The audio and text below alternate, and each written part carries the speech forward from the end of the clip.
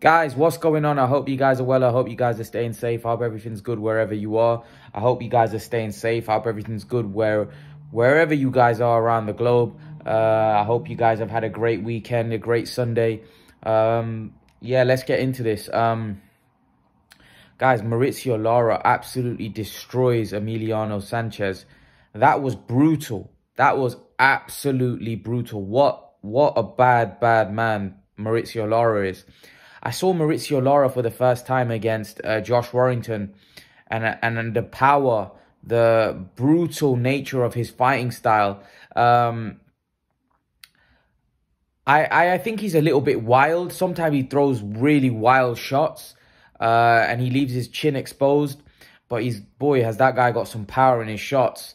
Uh, every time he was hitting Emiliano Sanchez, Sanchez was wobbling and all over the place.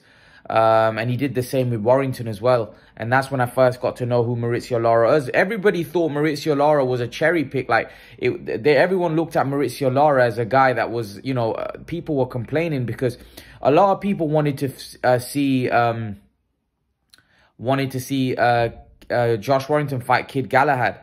And he didn't take the fight with Kid Galahad. And a lot of people were calling Josh Warrington a ducker. And everyone thought that Mauricio Lara was a cherry pick, an easy fight, and people were criticizing um, Josh Warrington for, you know, avoiding Kid Galahad and fighting Mauricio Lara. Um, and Mauricio Lara turned out to be anything but a cherry pick. He absolutely obliterated Josh Warrington. His punching power, I think his style was all wrong. I think he was all wrong for um, he was all wrong for Josh Warrington. Josh Warrington's a pressure fighter, likes to come forward, not a very big puncher, but Mauricio Lara had some serious punching power, and I just think stylistically he was all wrong. Then they had that rematch, and it, it got um, it was a no contest because of the head clash. Um, Lara would have battered Warrington again. Uh, if I'm honest with you, I think Lara would have knocked him out again. I just think Lara's style was all wrong, and his power was too much. And I think he was getting to Warrington. I think he would have stopped Warrington. Um, but this dude is a bad, bad man. He punches so hard. He's so brutal with his, which is, which is the way he, you know, way he throws his punches. And uh, that was bad. Like every time he was hitting Emiliano Sanchez, he was just like he was all over the place. He was wobbling. Every every every um, shot he landed, it had such a devastating effect. I will say this though, that uh, Lara is defensively not the greatest and he's also quite wild. Like I said, his chin's exposed. A good boxer can easily outbox Mauricio Lara, but has that boy got some power?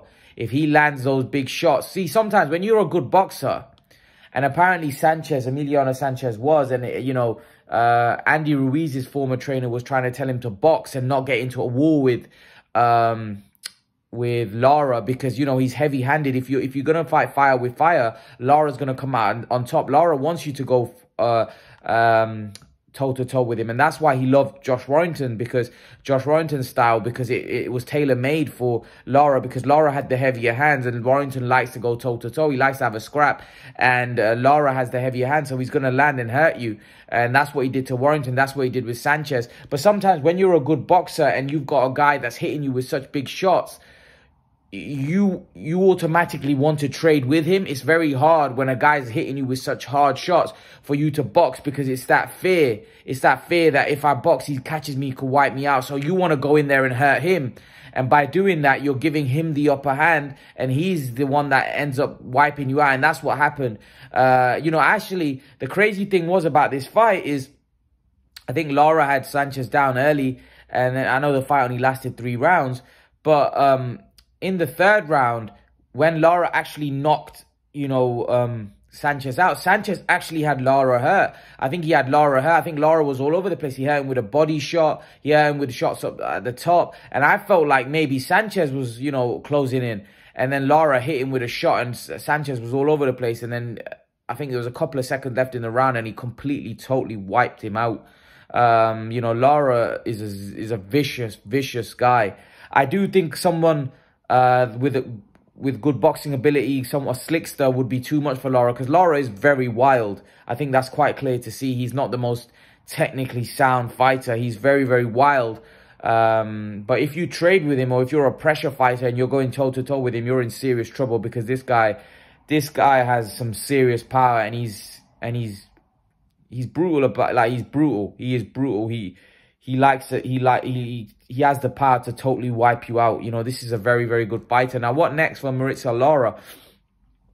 Honestly, I would like to see him fight Warrington again. Now, I don't think Warrington wins that fight. And I don't think stylistically it's a fight that if I was Warrington's management or team, I would definitely, definitely, you know, drift away from that trilogy because uh, I don't see how Warrington wins that fight. I think Lara would flatten him, uh, if I'm honest, like he did in the first fight. Uh, I don't see Lara beating, I mean, I, I don't see Warrington beating Lara.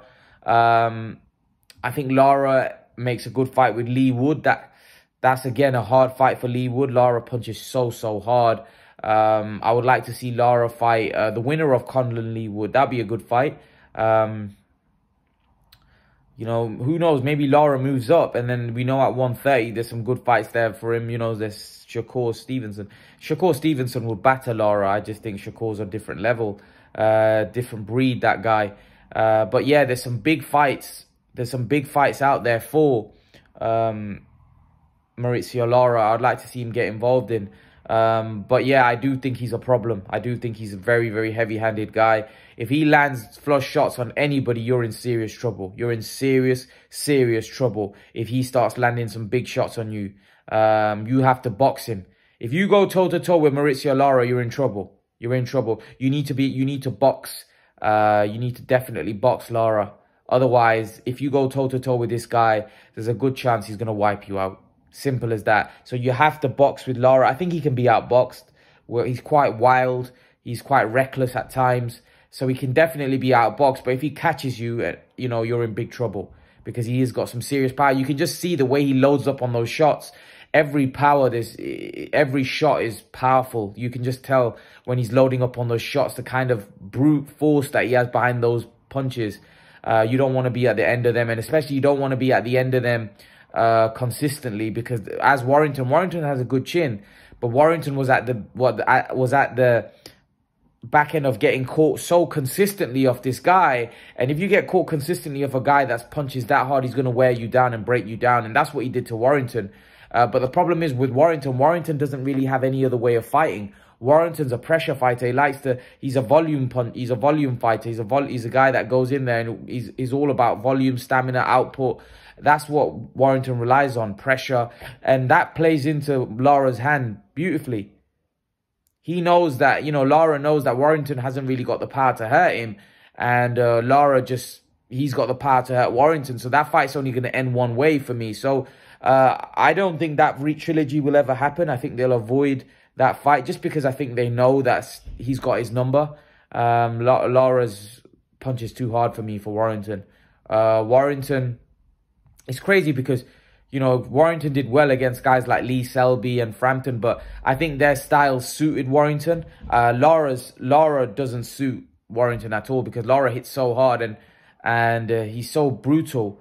I, I just think that, you know, that that fight would end that fight would end exactly the same way. I know a lot of people want to see that trilogy because the, they thought the second fight ended conclusively. And obviously the first fight was conclusive in Lara's favour. And people want to see Warrington uh, could avenge that loss. But I don't think that's a good idea. I think Warrington, I think he has his number. I do. I think stylistically, Warrington cannot beat Lara. That's just my opinion. I don't think he has the power to hurt him. I think Lara has the power to hurt him. I think stylistically, I think his fighting style favors him. So, yeah,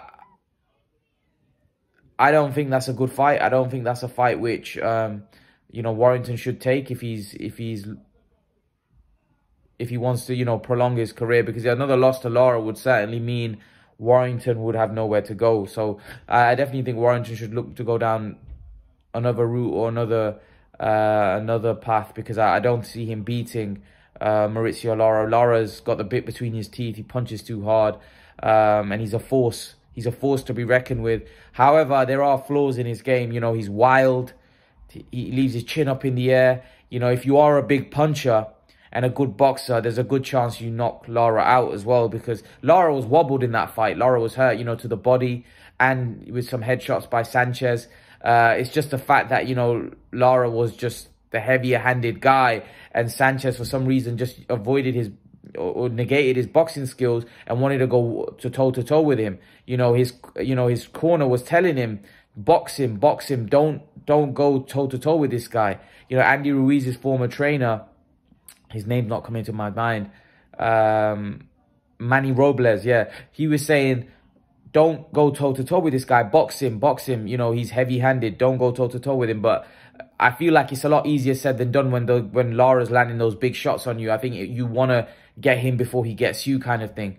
Um, so yeah, leave your thoughts. Let me know what you think about Mauricio Lara's brutal performance. I'd love to know your thoughts. Let me know your thoughts in the comment section below. And I'll see you guys in the next video. Peace.